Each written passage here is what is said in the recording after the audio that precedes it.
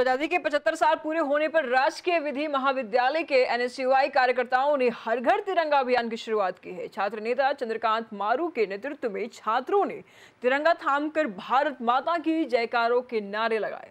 NSUI कार्यकर्ताओं का कहना है कि वे घर घर तिरंगा अभियान के तहत सभी छात्रों के घरों पर तिरंगा फहराने के लिए प्रेरित कर रहे हैं। इस मौके पर छात्र नेता चंद्रकांत मारू, रेखा वैष्णव समेत कई छात्र मौजूद रहे।